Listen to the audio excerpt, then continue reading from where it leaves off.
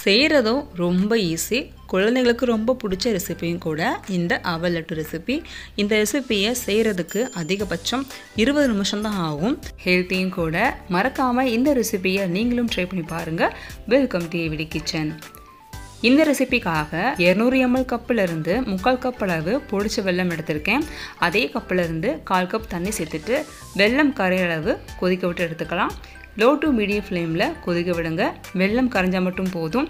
பாகுப்பு தான் பார்க்க தேவையில்லை. வெள்ளத்துக்கு பதிலாக நீங்கள் தாராளமாக ஒயிட் சுகரோ இல்லை நாட்டு சர்க்கரையும் சேர்க்கலாம்.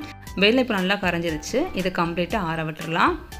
இப்போ கடாயில் நம்ம வெள்ளம் மலர்ந்த அதே கப்பில் ஒரு கப் அளவு நார்மல் அவல் எடுத்துக்கோங்க. இந்த அவல் வந்து திக்கான அவல் தான். உங்களுக்கு விருப்பமான எந்த அவல் வேணாலும் எடுத்துக்கலாம். நான் இன்றைக்கி திக்கான அவல் எடுத்திருக்கேன்.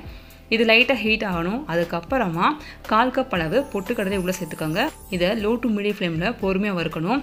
அவல் அப்புறம் பொட்டுக்கடலை. ரெண்டுமே வந்து நல்லா ஹீட் ஆகணும். நல்லா கிறிஸ்பியாக இருக்கணும். பாருங்கள் இந்த மாதிரி ஓரளவுக்கு உடையணும். இப்போ அடுப்பு ஆஃப் பண்ணிவிட்டு இது கம்ப்ளீட் ஆனதுக்கப்புறம் மிக்சி ஜாருக்கு மாற்றிக்கோங்க இது கூடவே நாலஞ்சு இலக்காயும் சேர்த்துட்டு எவ்வளோ முடியுமோ அந்தளவுக்கு ஃபைன் பவுடரை அடித்து எடுத்துக்கோங்க. இப்போது அதே கடாயில் டூ டீஸ்பூன் அளவு தேங்காய் எண்ணெய் எடுத்திருக்கேன். இதில் கொஞ்சம் முந்திரி ஆட் பண்ணி வறுத்து எடுத்துக்கலாம். லட்டு அப்படின்னாலே பொதுவாக எல்லோரும் நெய் ஆட் பண்ணுவாங்க. ஒருவேளை உங்களுக்கு நெய் வந்து அடிக்கடி யூஸ் பண்ணுற மாதிரி தோணுது அப்படின்னா நீங்கள் தாராளமாக ஸ்வீட்ஸ் வெரைட்டி எல்லாத்துக்குமே தேங்காய் எண்ணெய் யூஸ் பண்ணலாம். இப்போது கடாயில் மிச்சம் இருக்கிற அதே தேங்காய் எண்ணெயில் பொட்டுக்கடலை அவல் மிக்ஸை உள்ளே ஆட் பண்ணி இதே மாதிரி வறுத்துக்கோங்க. லோ ஃப்ளேமில் பொறுமையாக வறுத்துக்கலாம். அப்போ தான் உங்களுக்கு தீஞ்சு போகாது. அதே சமயத்தில் நல்ல ஒரு வாசனை வரும். இது கூட கால் கப் அளவு பால் பவுடர் ஆட் பண்ணிக்கலாம். இந்த பால் பவுடர் நீங்கள் கடையில் வாங்குகிற பத்து ரூபா பால் பாக்கெட் இருக்கு இல்லையா? அதை அப்படியே ஆட் பண்ணிக்கலாம். கரெக்டாக இருக்கும். உங்களுக்கு பிடிக்கலைன்னா இந்த பால் பவுடரை தாராளமாக ஸ்கிப் பண்ணிக்கலாம். லட்டு ரொம்ப நல்லாவே வரும். மில்க் பவுடர் வந்து இன்னும் கொஞ்சம் டேஸ்ட்டாக என்ஹான்ஸ் பண்ணி கொடுக்கும். லைட்டாக வறுத்தா மட்டும் போதும். இப்போ இது கூட நம்ம எடுத்து வச்சுருக்கிற வெள்ளை தண்ணியை உள்ளே ஆட் பண்ணிக்கலாம். வெள்ளை தண்ணி ஆட் பண்ணதுக்கப்புறமா லோ ஃப்ளேமில் மிக்ஸ் பண்ணுங்கள் அப்போ தான் அவள் முழுக்க முழுக்க வெள்ளை தண்ணியில் வெந்து நல்லாவே திக்காக வரும். அவல் பொட்டுக்கடலை எல்லாமே நம்ம அப்படியே சாப்பிட்லாம். இருந்தாலும் லைட்டாக வறுத்துட்டு இது மாதிரி மிக்ஸ் பண்ணும்போது உங்களுக்கு லட்டு பதத்துக்கு ரொம்ப ஈஸியாக வரும். இந்த ரெசிப்பியை அப்படியே ஃபாலோ பண்ணுங்கள் லட்டு உங்களுக்கு பர்ஃபெக்டாக கிடைக்கும்.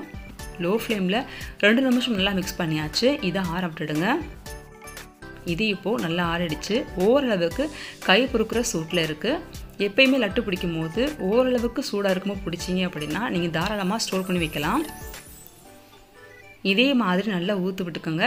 ஊற்று விட்டுட்டு அதுக்கப்புறமா லட்டு பிடிக்க ஆரம்பிச்சுக்கலாம். அப்போ தான் உங்களுக்கு எந்த ஒரு கெட்டிகளும் இல்லாமல் லட்டு வந்து ஒன்று போல் யூனிஃபார்மாக கிடைக்கும். இப்போது லட்டு பிடிக்கும் போதே கூட வறுத்த முந்திரியும் சேர்த்துட்டு லட்டு பிடிச்சிக்கோங்க. இந்த ரெசிப்பியில் நீங்கள் அதிகமான நெய் யூஸ் பண்ணிங்கன்னா ஒன் வீக் வரைக்குமே ஸ்டோர் பண்ணி சாப்பிட்லாம். நான் வந்து எப்போதுமே கம்மியான குவான்டிட்டி பண்ணுவேன். டூ த்ரீ டேஸ்லேயே காலி ஆகிடும் நம்ம யூஸ் பண்ண ஒரு கப் அவளுக்கு இன்றைக்கி ஆறு லட்டு கிடச்சிருக்கு. இது ஒன் ஆர் டூ டேஸ்லேயே காலி ஆகிடும் சப்போஸ் நீங்கள் லாங் டைம் ஸ்டோர் பண்ணணும்னு நினச்சிங்கன்னா நெய் யூஸ் பண்ணுங்கள் தாராளமாக ஒன் வீக் வரைக்குமே இதை ஸ்டோர் பண்ணி சாப்பிட்லாம். அவ்வளோதான் ரொம்ப சிம்பிளான ஈஸியான இந்த ரெசிப்பியை நீங்கள் தாராளமாக ட்ரை பண்ணி பாருங்கள் இந்த ரெசிபி உங்களுக்கு பிடிச்சிருந்தா மட்டும் சேனலை சப்ஸ்கிரைப் பண்ணி சப்போர்ட் பண்ணுங்கள் இந்த ரெசிப்பியை உங்கள் ஃப்ரெண்ட்ஸ் கூட ஷேர் பண்ணிக்கோங்க. சேனலை சப்ஸ்கிரைப் பண்ணுங்கள் தேங்க்யூ ஃபார் வாட்சிங்